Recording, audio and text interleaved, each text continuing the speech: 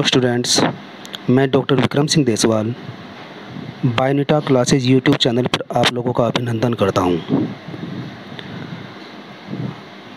जिन बच्चों ने अपना टीजीटी बायोलॉजी 2016 का अभी हाल में ही एग्ज़ाम दिया है तो उस पेपर को मैं यहाँ पर सोल्व कराने जा रहा हूँ। और मैंने कोशिश की है कि एक बेस्ट की देने की। और इस क्वेश्चन पेपर में कुछ क्वेश्चन कंट्रोवर्शियल भी है, जिनको मैं बताऊँगा। वो डिपेंड करेगा कि बोर्ड उस क्वेश्चन के किस आंसर को ज़्यादा एज्यूम कर रहा है। तो चलिए स्टार्ट करते हैं फटाफट टी जी टी बायोलॉजी दो हज़ार सोलह का की।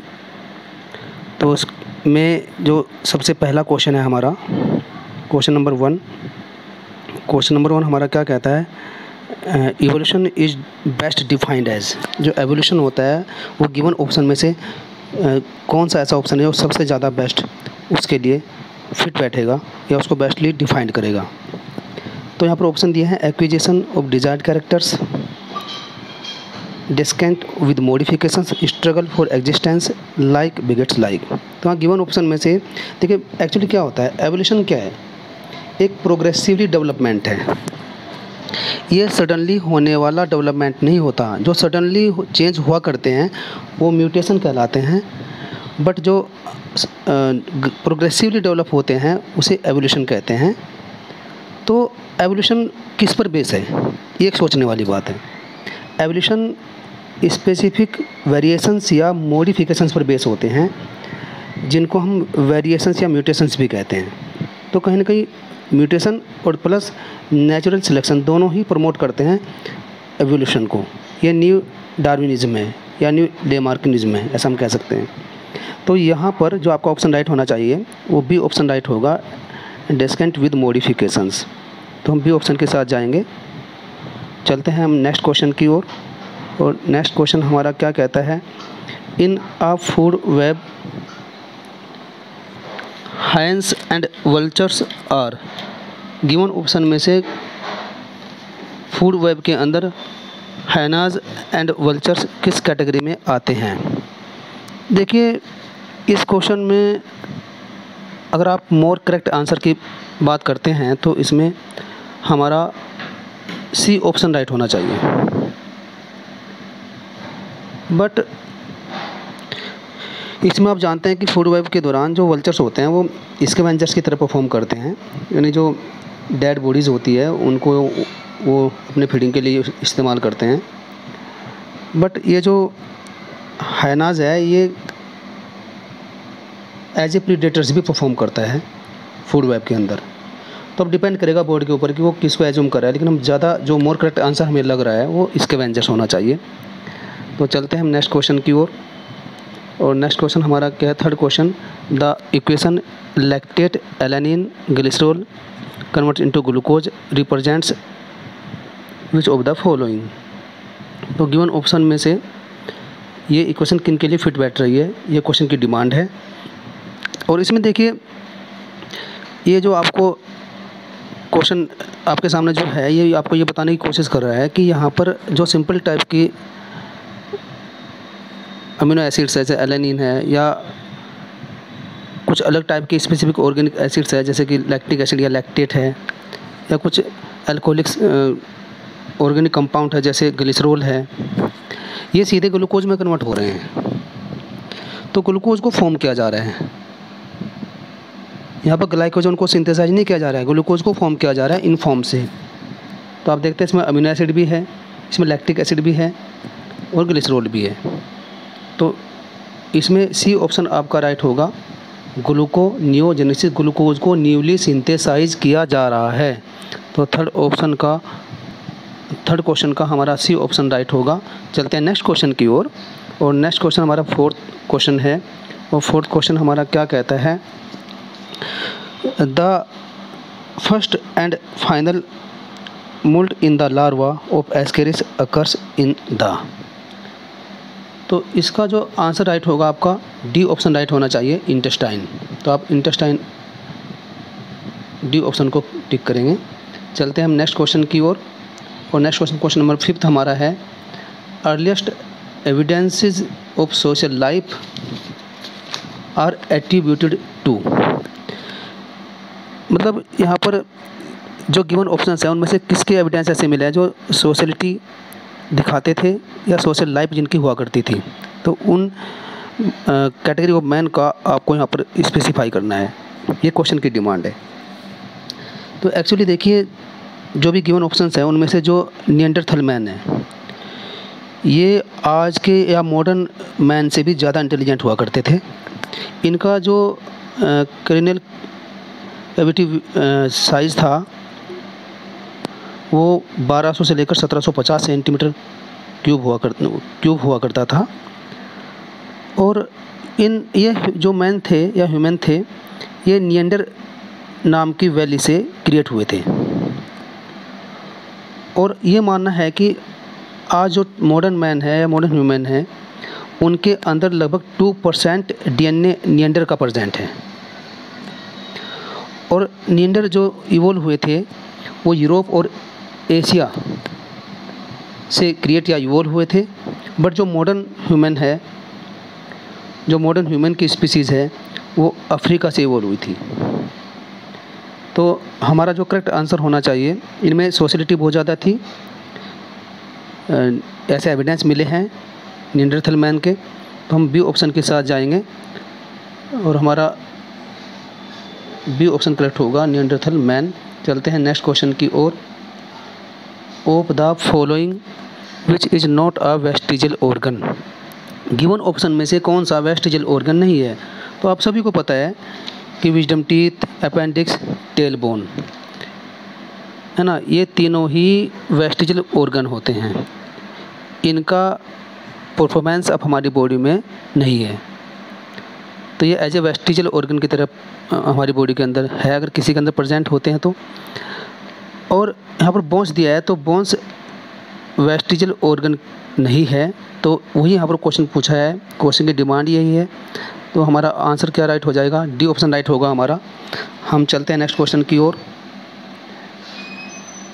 तो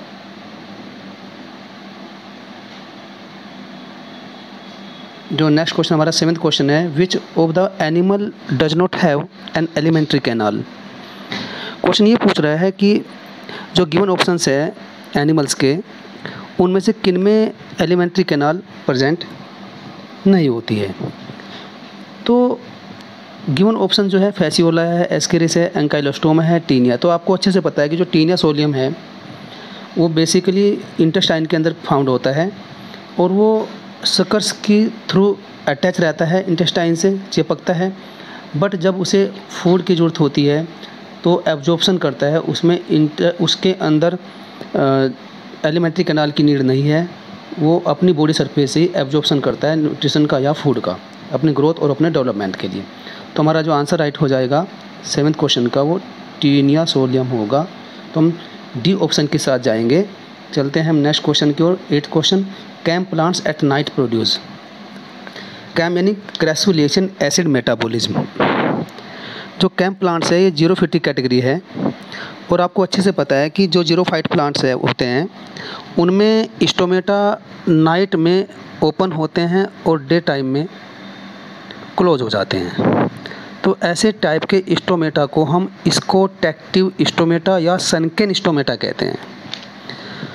तो ख़ास बात ये होती है कि नाइट में जब ये स्टोमेटा ओपन होते हैं तो पायरविक या फोस्फो इनोल पायरवेट जो होते हैं, जो पायरविक एसिड से बने हैं phosphoenolpyruvate carbon three containing compound ये होते हैं।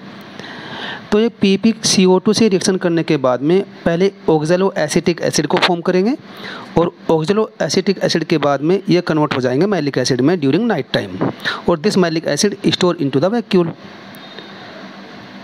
जब डे टाइम की बातें आती है तो स्टोमेटा क्लोज हो जाते हैं, क्योंकि मैलिक एसिड वहाँ पर ब्रेक होकर हाई अमाउंट ऑफ़ सी और पायरविक एसिड को सिंथेसाइज करने का काम करता है तो ज़्यादा एसिडिक नेचर वहाँ पर बन जाएगी। तो इसलिए स्टोमेटा क्लोज रहेंगे। उसी दौरान फ़ूड का फॉर्मेशन भी होगा। डे टाइम के दौरान, लेकिन स्टोमेटा वहाँ पर क्लोज रहेंगे। लेकिन यहाँ पर बातें की है कि नाइट टाइम में किसको ये सिंथेसाइज करते हैं प्रोड्यूस करते हैं? तो हम किस आंसर के साथ जाएँगे? मैलिक एसिड के साथ हम लोग जाएँगे। तो हमारा क्वेश्चन नंबर एट का सी ऑप्शन करेक्ट होगा, मैलिक एसिड चलते हैं नेक्स्ट क्वेश्चन की ओर। क्वेश्चन नंबर नाइन्थ हमारा क्या कहता है? Chromatids joint together by duplicated but unseparated centromere are called तो बड़ा सिंपल क्वेश्चन है। क्वेश्चन को थोड़ा सा हैंडल करने की ज़रूरत थी। क्रोमेटिड्स एक साथ ज्वाइंट होते हैं। और ये क्रोमेटिड्स जो हैं, वो एक दूसरे के डुप्लीकेशन में हैं। मतलब दोनों क्रोमेटिड्स सेम टाइप के हैं। बट एक ऐसा एरिया जहाँ पर अनसेपरेशन एरिया है, यानी जहाँ पर वो अटैच होते हैं पॉइंट उसको हम सेंट्रोमियर कहते हैं, ये बात सबको पता है। तो ऐसे क्रोमीटर जो सेम सेंट्रोमियर से अटैच होते हैं, और जो एक दूसरे के डुप्लीकेट कंडीशन में है तो वो क्या कहलाते हैं? वो सिस्टर क्रोमेटिड्स कहलाते हैं। जब डिफरेंट क्रोमोजोम के क्रोमेटिड्स की हम बातें करते हैं तो उनको हम नॉन सिस्टर क्रोमेटिड्स कहते हैं। बट यहाँ पर सेम टाइप के डुप्लीकेटेड क्रोमेटिड्स की बातें हो रही है तो यहाँ पर किस आंसर के साथ हम लोग जाएँगे? हम ए ऑप्शन के साथ जाएँगे। हमारा सिस्टर क्रोमेटिड्स आंसर करेक्ट होना चाहिए। चलते हैं हम नेक्स्ट क्वेश्चन की ओर। क्वेश्चन नंबर टेन हमारा क्या कहता है? In loam soil the proportion of soil particles is मतलब हिंदी में दोमट मिट्टी कहते हैं। इसमें जो मृदा कर्ण है उसका रेशो पूछा है, अनुपात पूछा है। तो यहाँ पर जो ऑप्शन गिवन है, देखिए। एक्चुअल में क्या होता है?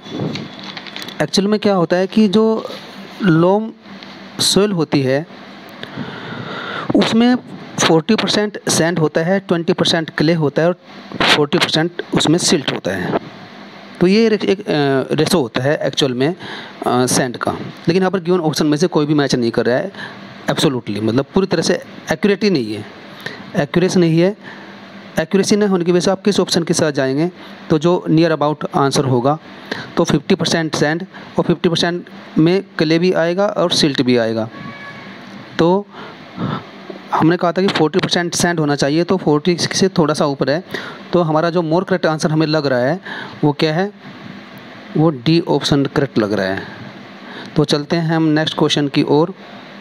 Which of the following is flying fish shark chimaera Latimeria Exocoetus. तो एक्जोसिटस सीधा सा ये डायरेक्ट क्वेश्चन पूछा है फ्लाइंग फ़िश बड़ा फ़ेमस है। तो एक्जोसिटस जो है फ्लाइंग फ़िश होती है। चलते हैं नेक्स्ट क्वेश्चन की ओर। क्वेश्चन नंबर ट्वेल्व हमारा क्या कहता है? Of the following which animal exhibits retrogressive metamorphosis तो देखिए, आप जानते हैं रेट्रोग्रेसिव मेटामोरफोसिस जो होता है वो हर मानिया में होता है। हर मानिया। तो हम किस आंसर के साथ जाएँगे? हर मानिया के साथ जाएँगे। बी ऑप्शन हमारा करेक्ट होगा। इधर एम्पी में नहीं होता ऐसा। एम्पी ऑक्सिस को हम लेंसिलेट भी कह सकते हैं या ब्रेंक्योस्टोमा भी कहते हैं। तो हमारा आंसर करेक्ट क्या है? हडमानिया है। और चलते हैं नेक्स्ट क्वेश्चन की ओर। Which type of joints are found in the pectoral and pelvic girdle of frog from the following? देखिए अकॉर्डिंग टू मी इसका जो आंसर मोर करेक्ट होना चाहिए, वो क्या होना चाहिए? बॉल एंड सॉकेट होना चाहिए। बॉल एंड सॉकेट ये इसका आंसर होना चाहिए। चलते हैं नेक्स्ट क्वेश्चन की ओर। The blood of Pheretima is red due to presence of जो अर्थवम या फेरिटोमा का जो ब्लड होता है, वो रेड होता है। किसी वजह से रेड होता है? आपको अच्छे से पता है कि अर्थवम के अंदर भी हीमोग्लोबिन होता है और उसका कलर जो है रेड होता है ब्लड का। लेकिन आप जानते हैं कि उसका जो ब्लड होता है, वो प्लाज्मा में सोलिबलाइज होता है डिज़ोल्व होता है, ये बात आपको अच्छे से पता है। जब प्लाज्मा में डिज़ोल्व होगा तो इसका मतलब वो सेल के अंदर तो नहीं होगा। तो क्या होना चाहिए? इंटर सेलुलर सेल के बीच में हो सकता है। तो इंटर सेलुलर इसका मोर करेक्ट आंसर होना चाहिए।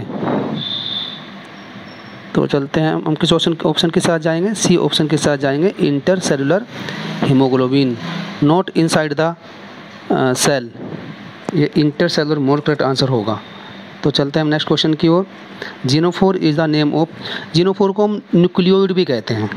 जीनोफोर को हम न्यूक्लियोड भी कहते हैं। और आपको अच्छे से है कि जो जीनोफोर होते हैं, वो डबल स्टैंडर्ड सर्कुलर डीएनए को कहते हैं, जो सभी प्रोकैरियोट्स में प्रेजेंट होते हैं। वो चाहे आर्की बैक्टीरिया है, या यू बैक्टीरिया है, या माइकोप्लाज्मा है, या एक्टिनोमाइसिस मेंबर्स है है ना? तो इन सभी में प्रेजेंट होते हैं। यहाँ तक कि साइनो बैक्टीरिया है। तो सभी में, ये सभी प्रोकैरियोट्स होते हैं, किंगडम मोनेरिया में टेकन किए गए हैं। ये सभी किंगडम मोनेरिया में टेकन किए गए हैं। तो पूछा क्या है जीनोफोर क्या है एक्चुअली वो बैक्टीरिया का जो डीएनए है, उसको हम जीनोफोर कहते हैं। इसका दूसरा नाम न्यूक्लियोड भी है। तो हमारा आंसर क्या? राइट हो जाएगा। बी ऑप्शन करेक्ट होगा। डीएनओ बैक्टीरिया ये डबल स्टैंडर्ड सर्कुलर हुआ करते हैं। इस बात का आप ध्यान रखेंगे। नेक्स्ट क्वेश्चन क्या है? इलेटर्स ऑफ़ मर्केंसिया आर देखिए पहले तो आपको ये पता होना चाहिए कि मर्केंसिया में इलेटर्स होते कहाँ हैं? मर्केंसिया की जो मेन प्लांट बॉडी होती है, वो गैमेटोफिटिक होती है। यानी जो फ़ूड बनाने वाला पार्ट होता है, उसको हम गैमेटोफाइट कहते हैं और उसकी प्लोडी क्या होती है? हैप्लोइड होती है। लेकिन जब उसमें सेक्स ऑर्गन डेवलप होते हैं, उसके थैलस के ऊपर तो वो सेक्स ऑर्गन्स मेच्योर होने के बाद में मेल एंड फीमेल गैमेट्स को डेवलप करते हैं। मर्केंसिया में मेल बॉडी अलग होती है फीमेल बॉडी अलग होती है। तो यहाँ पर आप देखते हैं कि मेल सेक्स ऑर्गन को एंथ्रीडियम बोला जाता है फीमेल सेक्स ऑर्गन को आर्किगोनियम बोला जाता है। तो जब इनके गैमेट्स डेवलप होते हैं तो आपस में फ्यूजन करेंगे। In presence of water fertilisation होगा तो जाइगोट बनेगा। जाइगोट से अब एम्ब्रियो बनना शुरू होगा। लेकिन ये एम्ब्रियो जो होगा, इस एम्ब्रियो का डेवलपमेंट जब होगा तो उसी को हम कहते हैं स्पोरोफाइट कहते हैं। उस स्पोरोफाइट के अंदर कुछ स्पेसिफिक दो टाइप की सेल्स ऐसी बनती है, जिनको हम कहते हैं स्पोर मदर सेल्स और एक को हम कहते हैं इलेटर मदर सेल्स जो स्पोर मदर सेल्स होती है, वो भी ट्वेन होती है और जो इलेटर मदर सेल्स होती है, वो भी ट्वेन होती है। लेकिन जो स्पोर मदर सेल्स होती है, वो डिवीज़न करके, कौन से वाला डिवीज़न करके मियोसिस वाला डिवीज़न करके, एक सेल से चार सेल बनाती है, जिनको हम स्पोर्ट्स कहते हैं। है ना? टेट्राड स्पोर्ट्स बनाती है। वो सभी के सभी हैप्लोड इन नेचर होंगे। बट हम जब उधर हमने बताया था कि इलेटर मदर सेल जो बनती है जो स्टेराइल इन नेचर होती है वो आ, अगर डिवीज़न वो जब डिवीज़न करेगी तो वो म्योसिस डिवीज़न को फॉलो नहीं करेगी। वो माइटोटिकली डिवाइड होगी। और माइटोटिकली डिवाइड हो होकर वो बहुत सारा नंबर्स क्या बनाएगी? इलेटर्स बनाएगी। तो माइटोसिस में कभी भी क्रोमोजोम के नंबर में कोई चेंज नहीं आएगा। उसी प्लोइडी में कोई चेंज नहीं आएगा तो प्लोइडी सेम रहेगी।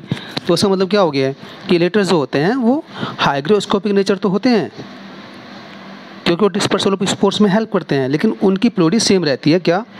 वो डिप्लोइड ही रहेंगे। तो हमारा आंसर क्या हो जाएगा? बी ऑप्शन हमारा करेक्ट होगा। डिप्लोइड एंड हाइग्रोस्कोपिक यही इसका आंसर राइट होगा। चलते हैं नेक्स्ट क्वेश्चन को question number seventh in the origin of species by Darwin, the concept of competition was taken from which of the following? तो मतलब डार्विन ने जो ओरिजिन ऑफ़ स्पीसीज उनका जो कॉन्सेप्ट था उसमें उन्होंने कॉन्सेप्ट ऑफ़ कंपटीशन को भी लिया है। तो ये कॉन्सेप्ट उन्होंने कहाँ से लिया है? गिवन साइंटिस्ट कौन थे वो?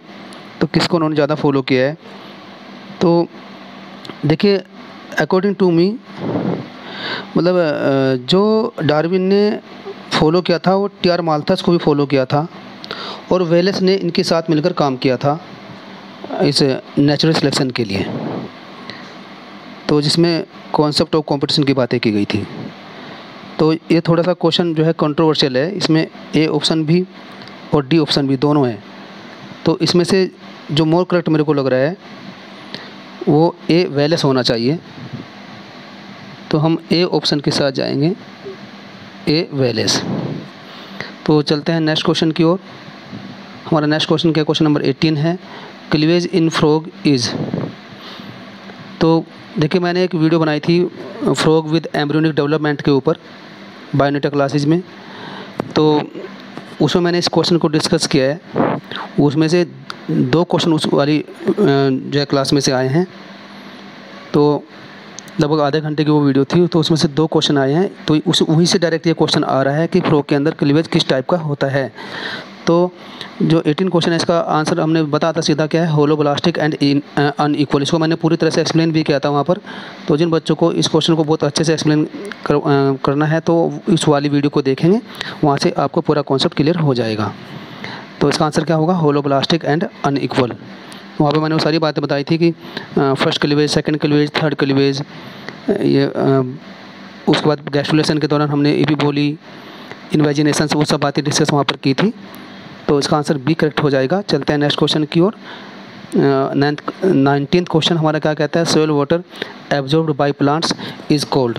जो सोयल वाटर है, जब प्लांट्स उसमें से पानी को एब्जॉर्प्शन करते हैं तो कौन सी कैटेगरी ऑफ़ वाटर है जिसको वो एब्जॉर्ब करते हैं, अवशोषित करते हैं? तो सबसे पहले आपको पता होना चाहिए कि जो टोटल अमाउंट ऑफ़ वाटर है सोइल के अंदर जो भी पानी जमा होता है रेनी वाटर से आकर जो वाटर टेबल में जाकर इकट्ठा होता है, उसी को हम ग्रेविटेशनल वाटर भी कहते हैं टोटल अमाउंट ऑफ़ वाटर भी उसको हम कहते हैं। तो उस वाटर के लिए एक टर्म दी गई है, उसको हम होलार्ड कहते हैं H O L A R D holard उसमें से जो पानी प्लांट्स को अवेलेबल हो रहा है कैपलरी वाटर वो कैटेगरी होती है, उस कैपलरी वाटर को यहाँ पर जो टर्म है, उसमें उसको क्रिजार्ड कहते हैं क्रिजार्ड है ना? तो जो क्रिजार्ड के बाद में जो बाकी रिमेनिंग अमाउंट ऑफ़ वाटर है, जो प्लांट को अवेलेबल नहीं हो पाती है, उसको हम ई कार्ड कहते हैं। तो यहाँ पर ये ध्यान रखना है, हो सकता है कभी आने वाले एग्ज़ाम में ये भी टर्म पूछ ले कि ई कार्ड क्या होता है। तो ई कार्ड वो होता है जो जब होलार में से प्लांट्स के थ्रू पानी लेने के बाद जो रिमेनिंग वाटर होता है, उसको हम एकार्ड कहते हैं।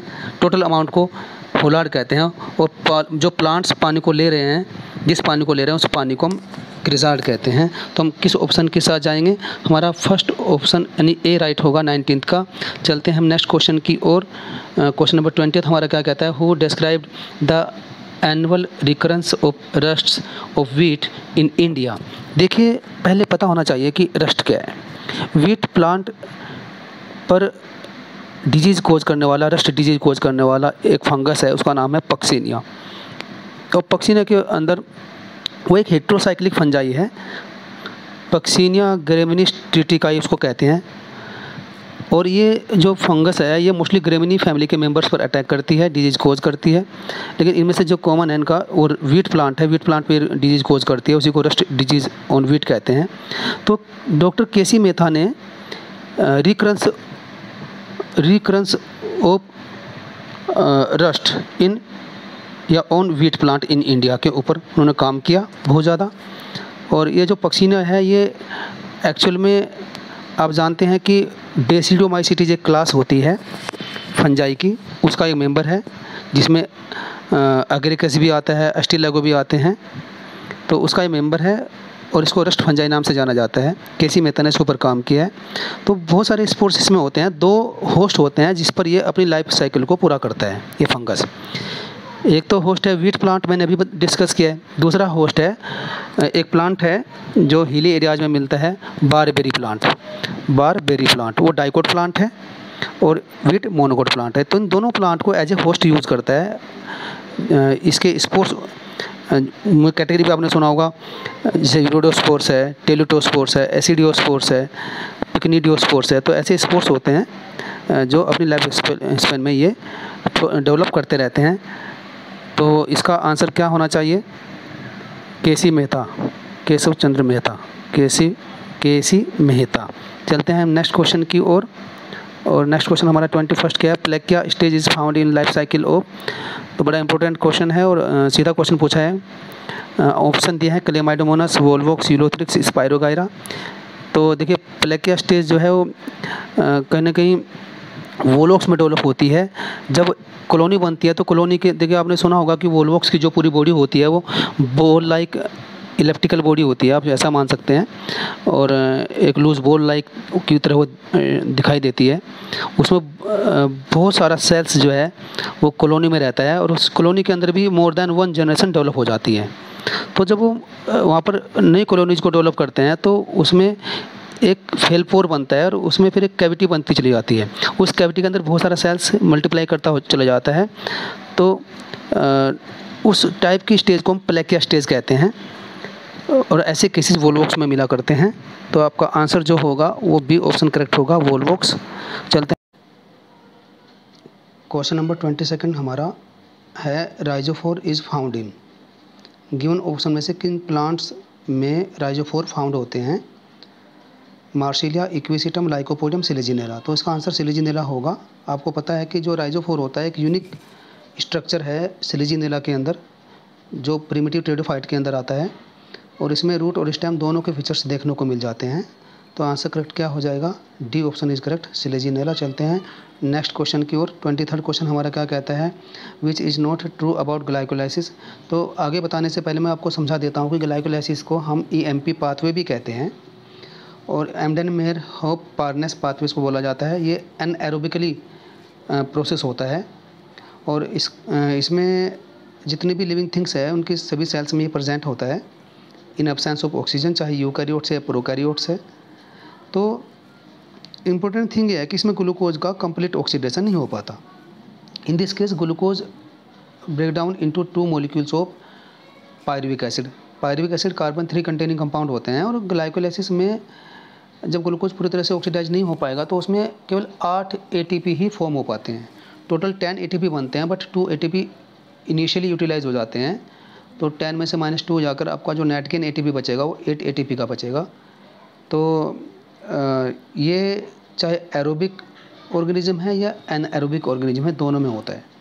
लेकिन यहाँ पर ऑप्शन ए में बोला है कि occurs only in an only in aerobic organisms तो ये वाला ऑप्शन तो गलत है। वो गलती वो पूछा पूछ रहा है तो हमारा आंसर करेक्ट क्या हो जाएगा? ए ऑप्शन करेक्ट होगा। ये सभी ऑर्गेनिज्म में होता है बी ऑप्शन राइट है। ये साइटोप्लाज्म में होता है, ये भी सही है हमारा सी ऑप्शन और डी ऑप्शन में क्या बोल रहा है कि ग्लूकोज इज़ पार्शली ऑक्सीडाइज तो ये भी बात बिल्कुल सही है। पूरी तरह से ऑक्सीडाइज नहीं हो पाता है ग्लूकोज इस वाले प्रोसेस के अंदर। तो चलते हैं हम नेक्स्ट क्वेश्चन की ओर। क्वेश्चन नंबर ट्वेंटी फोर्थ हमारा क्या कहता है?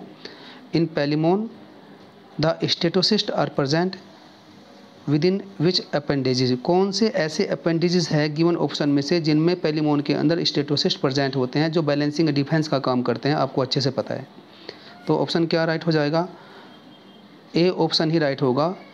एंटी नूल के अंदर एंटी नूल पर प्रजेंट होते हैं स्टेटोसिस्ट तो चलते हैं नेक्स्ट क्वेश्चन की ओर। ट्वेंटी फिफ्थ क्वेश्चन हमारा क्या कहता है? A nucleosome consist of nucleosome जो होते हैं वो यूकैरियोट्स में न्यूक्लियस के न्यूक्लियोप्लाज्म के अंदर सिंथेसाइज होते हैं।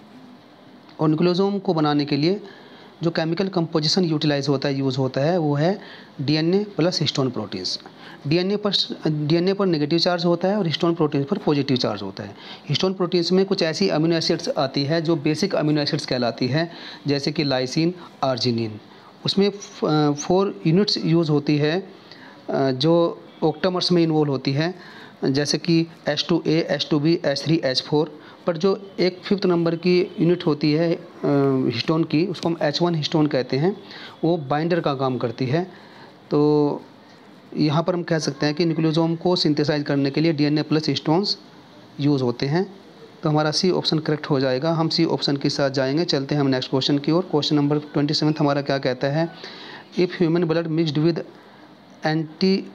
anticoagulant is centrifuge अगर हम ह्यूमन ब्लड को मिक्स कर दे एंटी कोएगुलेंट के साथ में और उसको सेंटिफ्यूज कर दे तो बॉटम पर कौन सबसे पहले सेटल होगा? सेंटिफ्यूज ट्यूब के अंदर। ये क्वेश्चन की डिमांड है। तो गिवन ऑप्शन में इरिथ्रोसाइट्स दिया है लिकोसाइट्स दिया है प्लेटलेट्स दिया है प्लाज्मा दिया है। तो यहाँ पर आप देखते हैं कि जो जो आप सेंटिफ्यूज करते हैं तो उस वाले केस में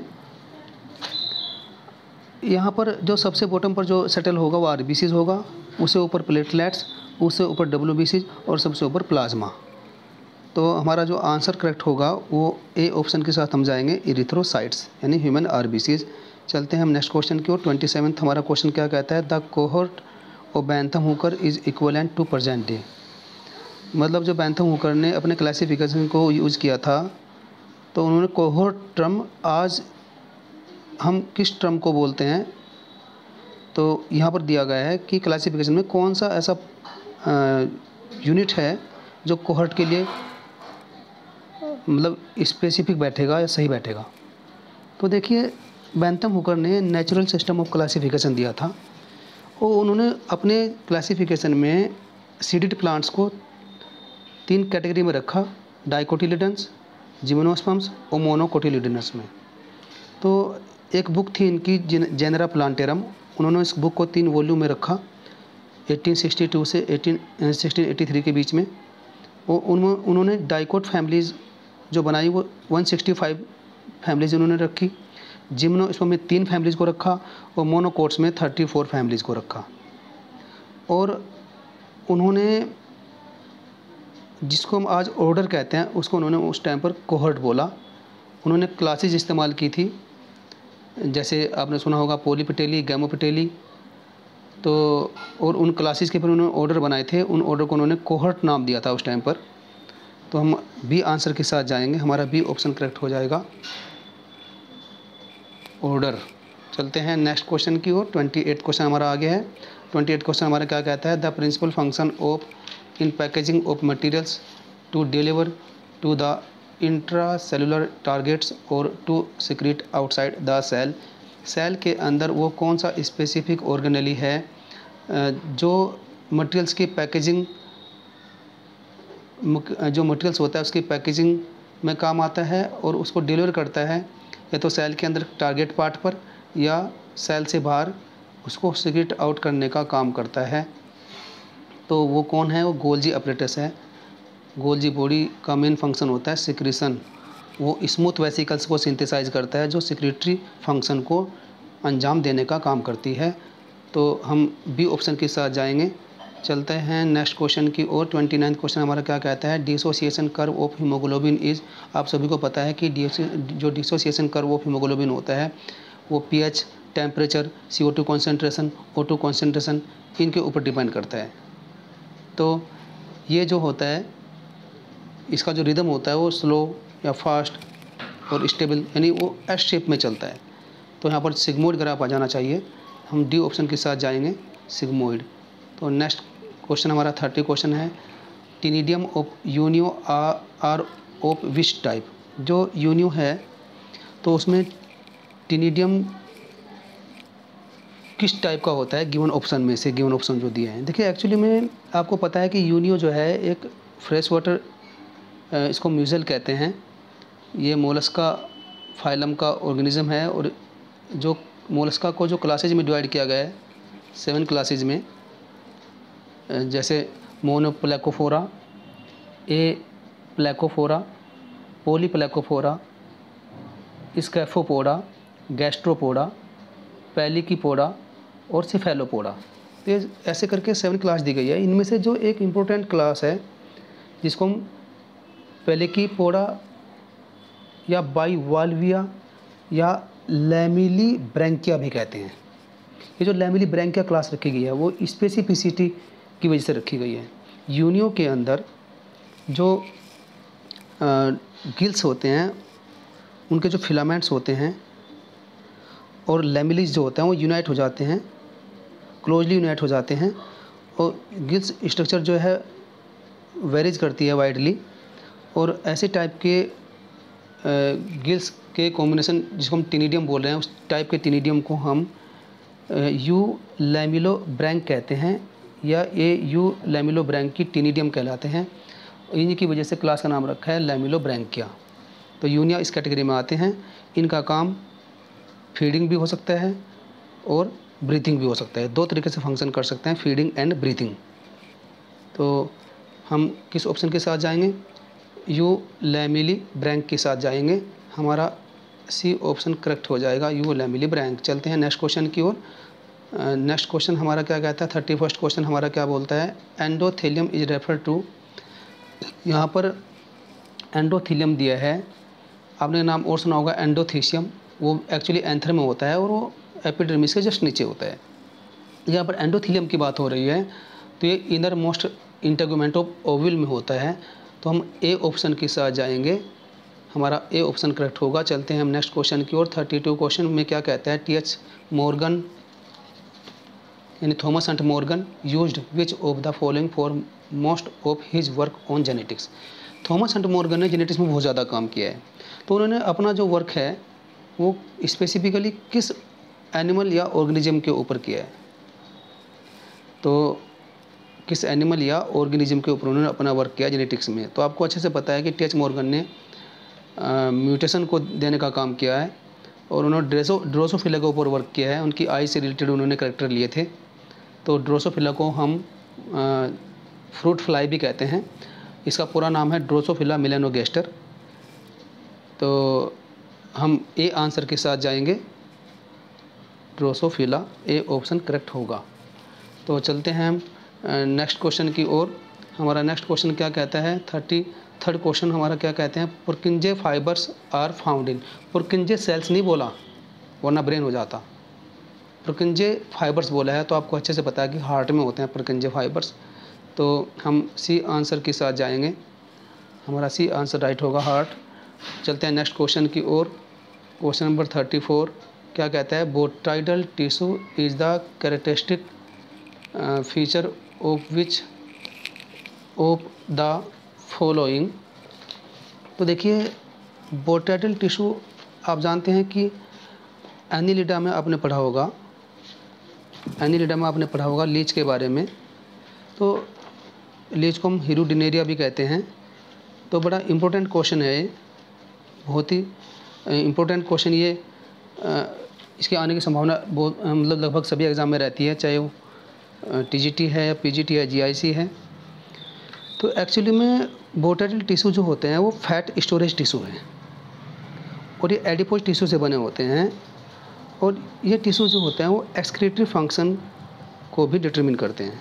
एक्सक्रेटरी फ़ंक्शंस भी ये परफॉर्म करते हैं और जो लीच के अंदर सिलोमिक स्पेस होता है, वो मोस्टली बोट्राइडल टिश्यू से ही फिल रहता है। मोस्टली बोटाइडल टिश्यू से ही फिल रहता है तो इस बात का आप ध्यान रखेंगे। तो हम किस ऑप्शन के साथ जाएँगे? हीरोडिनेरिया लीच के साथ बजाएँगे।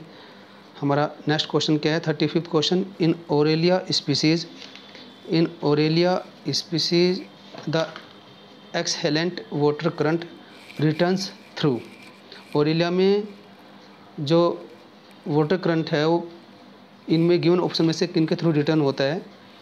तो यहाँ पर फ़र्स्ट ऑप्शन ही राइट होगा। क्या है? पर रेडियाई एंड इंटर रेडियाई यही आंसर इसका करेक्ट हो जाएगा। A option is more correct तो आप देखते हैं कि जो पर रेडियाई और इंटर रेडियाई है, यहाँ से फिर वाटर स्टोमक में एंटर कर जाता है। तो हम ए ऑप्शन के साथ जाएँगे। थर्टी सिक्स क्वेश्चन हमारा क्या कहता है? Next the lethal genes are largely recessive, hence they produce effect in the तो गिवन ऑप्शन में से आपको बताना है कि जो लेथल जीन्स है, वो लार्जली रिसेसिव परफॉर्म कर रहे हैं। तो कौन सी ऐसी स्टेट है जिनमें से ये स्टे करेगा? तो आप जानते हैं कि होमोजाइगस कंडीशन में रिसेसिव अपने आप को परफॉर्म कर पाते हैं। तो आंसर क्या हो जाएगा? इसका ऑप्शन भी आपने पता होगा, देखिए सिकल सेल एनीमिया डिज़ीज़ है। उसके अलावा आपने सुना होगा हीमोफीलिया डिज़ीज़ जो होती है वो एज ए लेथिलिटी काम करती है। तो एम्ब्रियन स्टेट में डेथ हो जाती है चा, चांसेस होते हैं ऑर्गेनिज्म के डेथ होने के। तो उसी को लिथिलिटी कहते हैं और ऐसे जीन को लिथल जीन कहते हैं। तो वहाँ पर होमोजाइगोसिटी देखने को मिल जाती है। एच बी आप उसमें सिकल सिनेमा में भी सिकल सेल एनीमा में भी देख सकते हैं। एच बी एस और एच बी एस जब कैटेगरी बनती है तो वो भी एज ए लिथलिटी कोज कर सकता है। ऐसी हीमोफीलिया आप देखते हैं कि X H X H combination जब बनता है तो वो भी लिथलिटी कोज कर सकता है। तो ये होमोजाइगोसिटी के ही एग्जाम्पल्स हैं। तो हम सी ऑप्शन के साथ जाएँगे। हमारा होमोजाइगस आंसर राइट होगा। चलते हैं नेक्स्ट क्वेश्चन की ओर। थर्टी सेवन क्वेश्चन हमारा क्या कहता है? Which of the following has upright pyramid upright pyramid तो देखिए, ये क्वेश्चन थोड़ा सा क्लियर नहीं किया है क्लैरिफाई पूरी तरह से नहीं किया है कि क्वेश्चन की डिमांड क्या है। कि गिवन ऑप्शन में से कौन अपराइट है? देखा जाए तो कंडीशंस लगाकर सभी में अपराइट हो सकते हैं। लेकिन जो अगर स्पेसिफाई किया जाए कि किसमें अपराइट होता है, हमेशा तो हम सी ऑप्शन के साथ जाएँगे। हमारा सी ऑप्शन राइट होगा एनर्जी जो पिरामिड ऑफ़ एनर्जी होता है ऑलवेज क्या होते हैं? वो ऑलवेज अपराइट ही होते हैं। तो हम सी आंसर के साथ जाएँगे, चलते हैं नेक्स्ट क्वेश्चन की ओर। The chief function of pedicellariae of starfish is. ये क्वेश्चन भी बड़ा कंट्रोवर्शियल है। ये क्वेश्चन भी कंट्रोवर्शियल है, क्योंकि इसमें चीफ फ़ंक्शन पूछा है पेडिसलेरी का। आपको पता है कि पेडिसलेरी स्टार फ़िश के अंदर वो क्लियर करते हैं डेब्रिस को बाय ओपनिंग एंड क्लोजिंग ये काम भी उनका होता है क्लीन कर, करते हैं। तो क्लिनसिंग उनका फ़ंक्शन हो सकता है। दूसरे वो डिफेंस का काम भी करते हैं। तो यहाँ पर क्लिनसिंग और डिफेंस दोनों ऑप्शन राइट हो सकते हैं। अब डिपेंड करेगा बोर्ड किस वाले आंसर को ज़्यादा फॉलो करेगा। तो हम अभी क्लिनसिंग की तरफ़ चल रहे हैं। क्लिनसिंग को मान के चलेंगे कि क्योंकि जो ज़्यादा हमें राइट लग रहा है वो क्लिनसिंग लग रहा है बट इसका काम डिफेंसिंग का भी होता है। तो चलते हैं नेक्स्ट क्वेश्चन की ओर। नेक्स्ट क्वेश्चन क्या है हमारा? Thirty nine the tail of the sperm is made from which of the following जो स्पम की टेल है, वो गिवन ऑप्शन में से किसकी बनी होती है? तो यहाँ पर जो मोर करेक्ट आंसर है, वो सेंट्रियोल लग रहा है। जो मोर करेक्ट आंसर है, वो सेंट्रियोल हमारा लग रहा है ना? तो हम डी ऑप्शन के साथ जाएँगे। और चलते हैं फिर हम नेक्स्ट क्वेश्चन की ओर। फोर्टी क्वेश्चन क्या कहता है? Which of the following is degradable pollutant. तो देखिए, मरकरी दिया है, ट्रेस मेटल्स दिए हैं, स्टील दिया है, डोमेस्टिक सीवेज दिया है। तो जो ऊपर वाले तीन ऑप्शन है, वो डिग्रेडेबल नहीं है। लेकिन जो डोमेस्टिक सीवेज है, वो कुछ समय के बाद डिग्रेडेबल हो जाता है। तो हम किस ऑप्शन के साथ जाएँगे? हम डी ऑप्शन के साथ जाएँगे, डोमेस्टिक सीवेज। चलते हैं नेक्स्ट क्वेश्चन की ओर। क्वेश्चन नंबर फोर्टी फ़र्स्ट हमारा क्या कहता है? Motile cells with flagella are all together absent in जो मोटाइल सेल्स है या फ्लेजिला है तो पूरी लाइफ साइकिल में गिवन ऑप्शन में से किन की लाइफ साइकिल में ये प्रेजेंट या फाउंड नहीं होता है। तो वो केवल साइनोबैक्टीरिया साइनोफाइसियन मेंबर्स है, जिनको हम ब्लू ग्रीन एलगी भी कहते हैं। इनकी पूरी लाइफ साइकिल में कोई भी मोटाइल सेल्स प्रेजेंट नहीं होती। और ख़ास बात ये होती है कि ये जो साइनोबैक्टीरिया होता है, जैसे नोस्टोक है, एनाबिना है, ओलोसिरा है, प्रोमिक्जा है तो इनकी लाइफ साइकिल में केवल ए सेक्सुअल रिप्रोडक्शन ही होते हैं सेक्सुअल रिप्रोडक्शन को ये फॉलो नहीं करते। और ये most primitive oxygen evolver organism होते हैं ऑल द साइनोबैक्टीरिया और they are totally photosynthetic in nature तो हमारा ऑप्शन क्या होगा? साइनोबैक्टीरिया साइनोफाइसी हमारा आंसर राइट हो जाएगा। चलते हैं हम नेक्स्ट क्वेश्चन की ओर। फोर्टी सेकंड क्वेश्चन हमारा क्या कहता है? A cavity formed by disintegration of protoxylem tracheids in Equisetum is Equisetum में प्रोटोजाइलम ट्रेकेट्स का डिसइंटीग्रेशन होकर एक कैविटी वहाँ पर सिंथेसाइज हो जाती है। वो कैनल लाइक कैविटी होती है। उसी को हम कैरिनल कैनल कहते हैं। क्या बोलते हैं? कैरिनल कैनल तो हमारा डी ऑप्शन राइट हो जाएगा। ध्यान रखेंगे इस बात का। जिन बच्चों ने मेरी जो मैंने 2010 की, जो लास्ट पेपर्स की मैंने वीडियो बनाई थी एक्सप्लेनेशन के साथ में, उसमें मैंने इस क्वेश्चन को डिस्कस किया है पूरी डिटेल में तो आप वहाँ से इस वाली क्वेश्चन को अच्छे से एक्सप्लेन कर सकते हैं, समझ सकते हैं। तो जिन बच्चों ने उस वीडियो को नहीं देखा, वो बड़ा इम्पोर्टेंट है, उस वीडियो को देख सकते हैं। उसमें से भी कई क्वेश्चन इस वाले एग्ज़ाम में आए हैं, मैंने देखा है। तो चलते हैं नेक्स्ट क्वेश्चन की ओर फोर्टी थर्ड क्वेश्चन क्या कहता है? Of the following which is the phenolic hormone given option में से कौन फिनोलिक हार्मोन नहीं है? प्रोलैक्टिन एक पेप्टाइड प्रोटीनेसिस हार्मोन है। प्रोथ हार्मोन भी प्रोटीनेसिस हार्मोन है। टेस्टोस्टेरोन भी। तो यहाँ पर जो ऑप्शन लग रहा है मुझे, वो एड्रेनिल ऑप्शन सही लग रहा है। ये एक फिनोलिक हार्मोन है एड्रीनेलिन तो ए ऑप्शन इज़ करेक्ट चलते हैं नेक्स्ट क्वेश्चन की ओर। Which of the following statement is true regarding the nauplius larva तो जो क्वेश्चन ये बोल रहा है कि जो नोप्लियस लार्वा है, उसके रिगार्ड में अगर हम देखा जाए तो कौन सा स्टेटमेंट ट्रू है?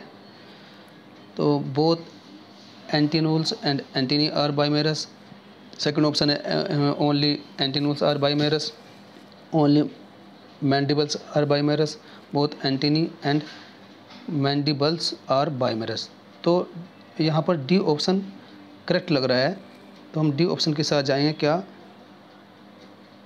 Both antennules both antennae and mandibles are biramous तो हम डी ऑप्शन के साथ जाएँगे। तो चलते हैं नेक्स्ट क्वेश्चन की ओर। नेक्स्ट क्वेश्चन हमारा क्या है? फोर्टी फिफ्थ क्वेश्चन हमारा है। फोर्टी फिफ्थ क्वेश्चन क्या कहता है? Considered the following statement saliva act as lubricant बात बिल्कुल सही है।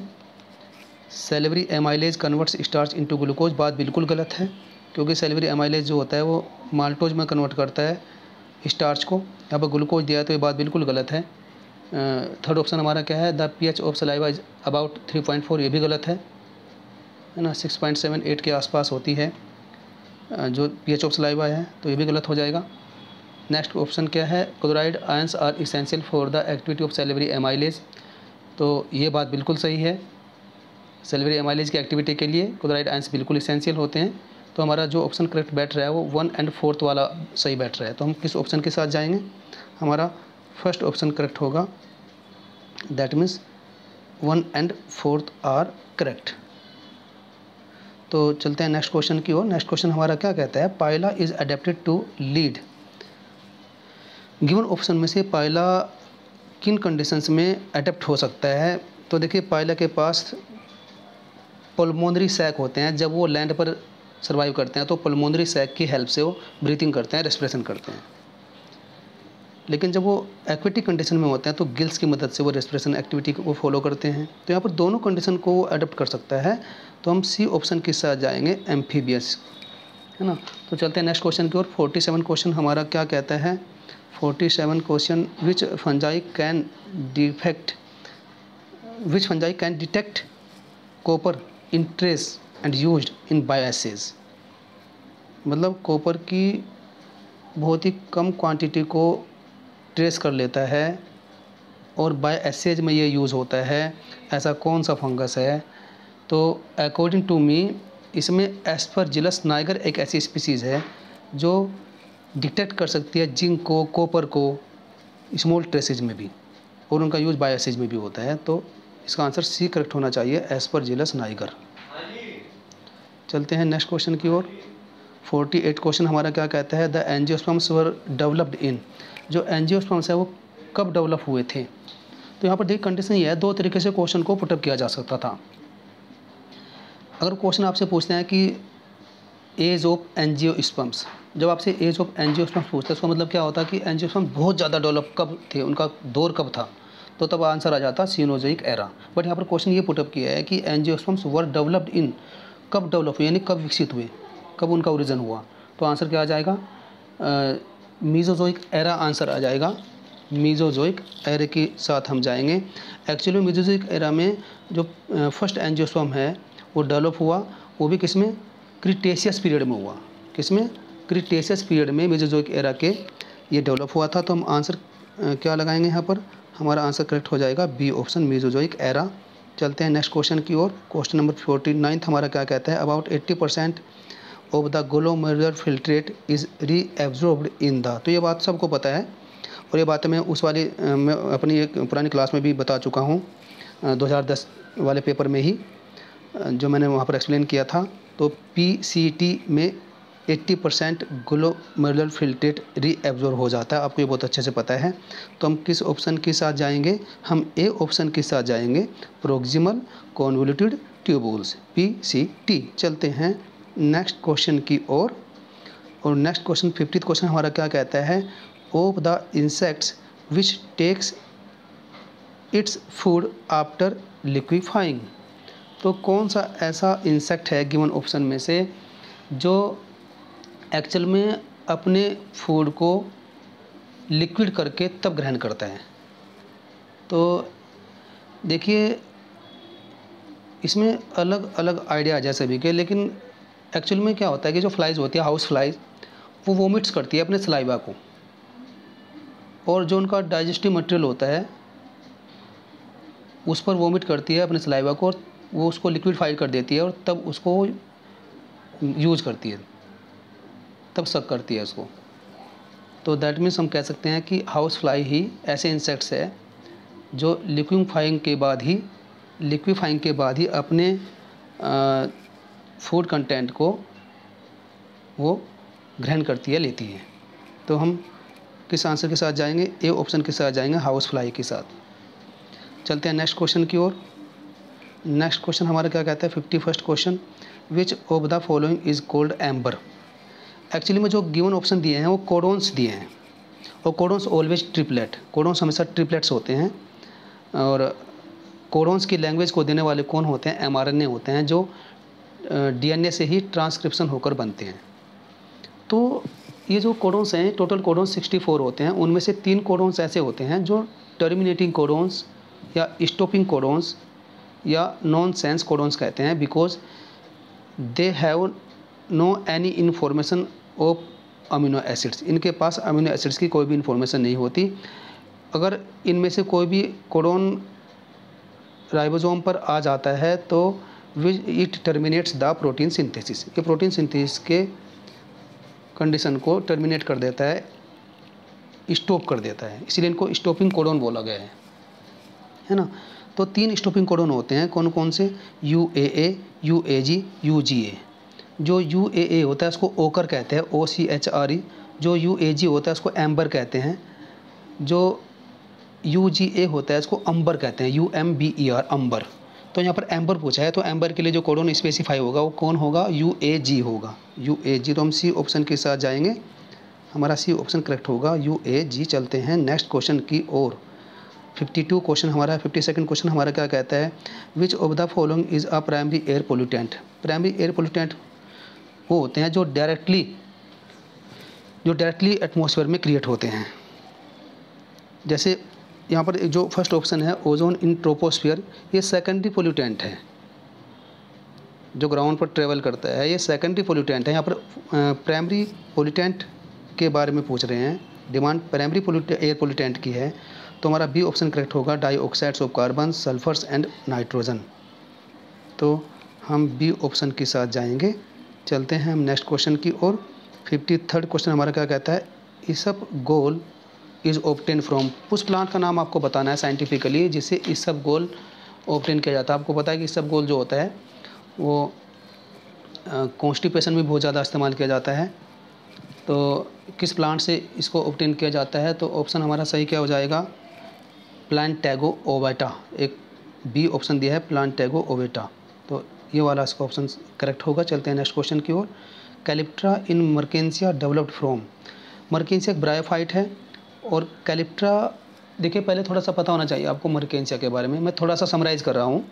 मर्केंसिया जो होता है, उसमें जो मेन प्लांट बॉडी है वो गैमेटोफाइट है और जो उसका इसोरफिटिक बॉडी है वो डिप्लॉयड है और डिपेंडेंट बॉडी है। वो वो इंडिपेंडेंट बॉडी नहीं है, वो गैमेटोफाइट के ऊपर ही डिपेंड करता है। और इसोरोफाइट जो होते हैं, वो ट्वेन नेचर वाले होते हैं। लेकिन फर्टिलाइजेशन से पहले जो फीमेल सेक्स ऑर्गन होता है मर्केंसिया के अंदर, उसकी जो बॉटम वाला जो लेयर होता है आर्किगोनियम का तो उसको वेंटर कहते हैं।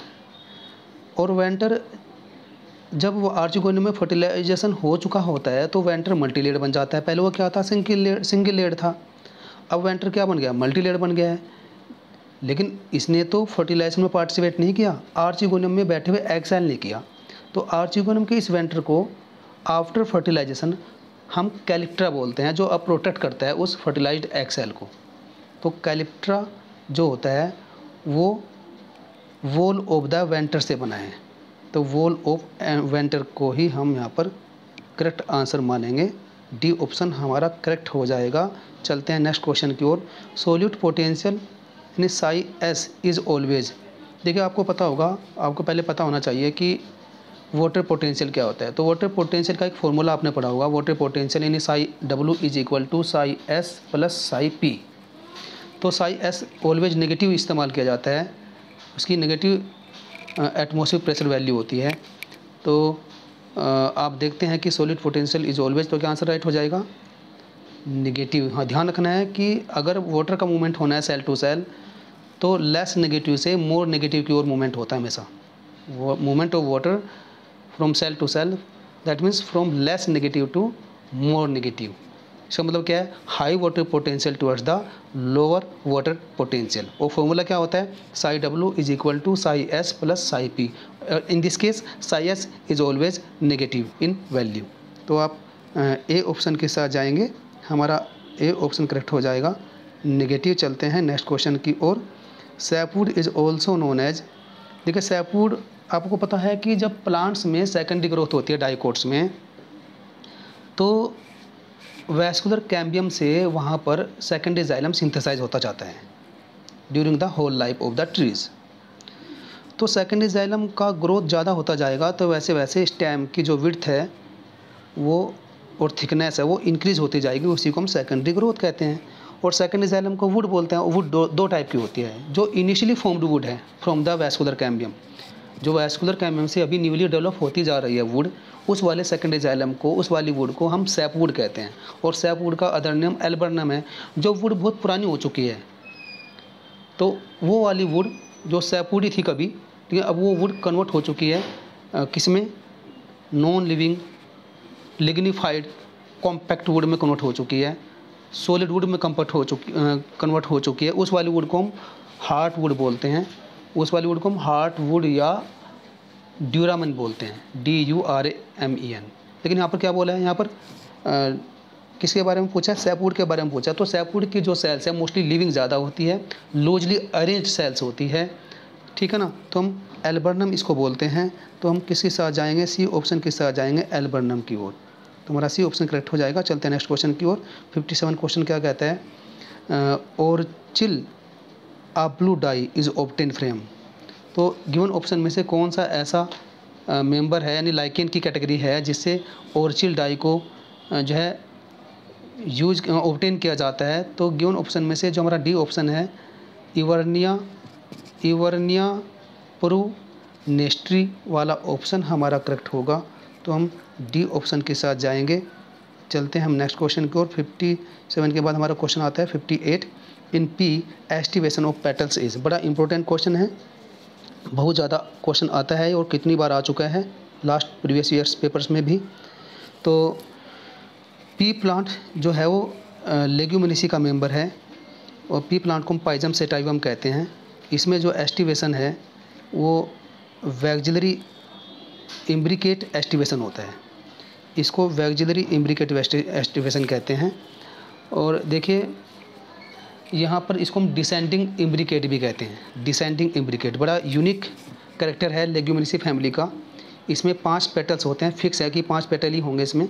और पाँच पेटल्स में से ये इसका जो पेटल का जो लुक आता है, वो बोट शेप का आता है, बोट शेप। तो इसमें सबसे ऊपर की ओर जो पेटल होता है वो सबसे बड़ा होता है लार्जेस्ट पेटल उसको वैक्जिलम कहते हैं। उसके बाद दो लेटरल पेटल होते हैं उनको विंग्स कहते हैं। उसके बाद फिर दो लिटल पेटल होते हैं जो सब जो दो एंटीरियर पेटल होते हैं जो सबसे छोटे होते हैं स्मॉलेस्ट होते हैं उनको हम आ, क्या बोलते हैं? कैरिना या कील बोलते हैं के डबल ई एल कील कील या कैरिना तो एंटीरियर पेटल को कील बोला लिटल पेटल को विंग्स बोला पोस्टियर वन या सिंगल पेटल जो लार्जेस्ट है उसको वैक्जिलम बोला। तो इस टाइप के एस्टिवेशन को हम पी प्लांट में वैक्जिलरी एस्टिवेशन कहते हैं। तो बहुत इंपॉर्टेंट है, हम बी ऑप्शन के साथ जाएँगे, चलते हैं नेक्स्ट क्वेश्चन की ओर। फिफ्टी नाइन्थ क्वेश्चन हमारा क्या कहता है? Of the following which gas produces greenhouse effect ये क्वेश्चन सबको पता है। कि कौन सी गिवन ऑप्शन में सबसे इम्पोर्टेंट गैस है जो ग्रीन हाउस इफ़ेक्ट में बहुत ज़्यादा रोल प्ले करती है। तो सबसे पहले नंबर पर हम किसको रखेंगे? कार्बन डाइऑक्साइड तो ए ही ऑप्शन इज़ करेक्ट यहाँ पर होगा। तो चलते हैं नेक्स्ट क्वेश्चन की ओर। सिक्सटी क्वेश्चन क्या है? Neopilina is a connecting link between तो जो नियोपिलिना है, वो कनेक्टिंग लिंक किन का है? तो आपको बहुत अच्छे से पता है इसके बारे में न्यूपोलिना के बारे में, कि ये एनिलिडा एंड मोलस्का के बीच का कनेक्टिंग लिंक है। एनिलिडा एंड मोलस्का के बीच का कनेक्टिंग लिंक माना जाता है। न्यूपिलिना, है ना? तो न्यूपिलिना में कुछ कैरेक्टर्स जो होते हैं, वो एनिलिडा के मिलते हैं और कुछ करेक्टर्स मोलस्का के मिलते हैं। न्यूपोलियना को मोलस्का में रखा गया है, लेकिन एक्सेप्शनली ये सेगमेंटेड होता है, जबकि बाकी मोलस्का में सेगमेंटेशन नहीं है। एनिलिडा में सेगमेंटेशन मिलता है। तो ये एक्सेप्शनली सेगमेंटेड है बट इसको मोलस्का में टेकन किया गया है। तो दोनों के बीच का एक कनेक्टिंग लिंक का ये काम करता है। तो हम ए ऑप्शन के साथ जाएँगे एनिलिडा एंड मोलस्का चलते हैं नेक्स्ट क्वेश्चन की ओर। सिक्सटी फ़र्स्ट क्वेश्चन हमारा क्या कहता है? Rho factors involved in transcription of DNA to RNA molecule is a देखिए रो फैक्टर्स जो होते हैं जब प्रोकैरियोटिक ट्रांसक्रिप्शन होता है जिसमें डीएनए से आरएनए का सिंथेसिस होता है फॉर्मेशन होता है तो रो फैक्टर वहाँ पर काम करता है, वो टर्म वो ट्रांसक्रिप्शन को टर्मिनेट करने का काम करता है। इस बात का आप ध्यान रखेंगे। वहाँ पर बहुत सारे फैक्टर्स होते हैं, जैसे वहाँ पर अल्फ़ा फैक्टर है सिग्मा फैक्टर है बीटा बीटा डैश फैक्टर है, ऐसे एक रो फैक्टर होता है जो जीटीपी एनर्जी की प्रजेंस में वहाँ पर टर्मिनेशन ऑफ़ द ट्रांसक्रिप्शन करने का काम करता है। तो प्रोकैरियोट्स में जो ट्रांसक्रिप्शन होता है, वो पोलिसिस्टोनिक टाइप का ट्रांसक्रिप्शन होता है। इस बात का विशेष ध्यान रखेंगे। दैट मीन्स वहाँ पर many cistrons many cistrons are use in the formation of single mRNA तो जब जब वहाँ पर टर्मिनेशन करना होता है आर एन ए का या एम आर एन ए का तो वहाँ पर रो फैक्टर्स काम आते हैं। और रो फैक्टर्स हमेशा प्रोटीनेसिस फैक्टर्स होते हैं। इस बात का आप ध्यान रखेंगे। तो हम किस ऑप्शन के साथ जाएँगे? हम डी ऑप्शन के साथ जाएँगे। हमारा डी ऑप्शन करेक्ट हो जाएगा। चलते हैं नेक्स्ट क्वेश्चन की ओर। और नेक्स्ट क्वेश्चन हमारा क्या कहता है? सिक्सटी सेकेंड क्वेश्चन हमारा आ गया है। ये क्या कहते हैं? Some organisms can tolerate and thrive in a wide range of temperature they are called देखिए, यहाँ पर गिवन ऑप्शन में बताना है कि मतलब ऐसे ऑर्गेनिज्म आपको मतलब ऐसा ऑर्गेनिज्म जो टोलेट कर लेता है वाइड टेम्परेचर की वाइड रेंज को तो उस टाइप के ऑर्गेनिज्म ऑर्गेनिज्म को हम क्या कहते हैं? तो हमारा जो आंसर राइट हो जाएगा, वो यूरीथर्मल हो जाएगा यूरीथर्मल तो हम डी ऑप्शन के साथ जाएँगे यूरीथर्मल चलते हैं नेक्स्ट क्वेश्चन की ओर। सिक्सटी थर्ड क्वेश्चन हमारा क्या कहता है? Tubules connecting to cisternae tubules connecting to cisternae of endoplasmic reticulum located at two opposite ends of plasmodesmata are called as देखिए, आपको पता होगा, आपको एक मूवमेंट पता है प्लांट्स में एक टर्म होती है प्लाज्मोडेस्मेटा। और प्लाज्मोडेस्मेटा जो होता है, वो connecting link between two adjacent cells होते हैं। और plasmodesmata infolding modifications of cell membrane हुआ करते हैं। तो यहाँ पर जब सेल टू सेल ये प्लाज्मोडेस्मेटा कैरी करते हैं ट्रांसमिट करते हैं लिविंग मैटर को एक सेल से दूसरे सेल में, जिसको हम सिम्प्लाज्म कहते हैं तो वहाँ पर क्या होता है कि जो इनफोल्डिंग मोडिफिकेशन सेल मेम्ब्रेन का है प्लाज्मोडेस्मेटा, जिसको बोला थ्रेड लाइक स्ट्रक्चर को तो एक सेल से दूसरे सेल में जब वो आगे एंटर करता है तो वो ई आर तक उसको ट्रांसमिट करता है। तो ई आर तक वो जाने का काम करता है। तो उस टाइम पर प्लाज्मोडास्मेटा विद ई आर जो वहाँ पर रिजल्टिंग बॉडी बनेगी तो उसको हम क्या कहते हैं? डेस्मो ट्यूबल्स कहते हैं। डेस्मो ट्यूबल्स तो हमारा आंसर क्या करेक्ट हो जाएगा? बी ऑप्शन हमारा करेक्ट हो जाएगा। डेस्मो ट्यूबल्स चलते हैं नेक्स्ट क्वेश्चन की ओर। क्वेश्चन नंबर हमारा सिक्सटी फोर्थ क्या कहता है? The system resulting from the integration of the oh living and non living factors of the environment is called as. तो सबको पता है इस बारे में जितने भी लिविंग थिंग्स है और नॉन लिविंग थिंग्स है वो आ, मतलब सभी फैक्टर्स जो होते हैं वो इंटीग्रेट करते हैं आपस में इन्वायरमेंट के अंदर। तो ये सब किसके अंदर होता है? इकोसिस्टम के अंदर होता है। तो हमारा ए ऑप्शन करेक्ट हो जाएगा। It is very simple question. चलते हैं नेक्स्ट क्वेश्चन की ओर।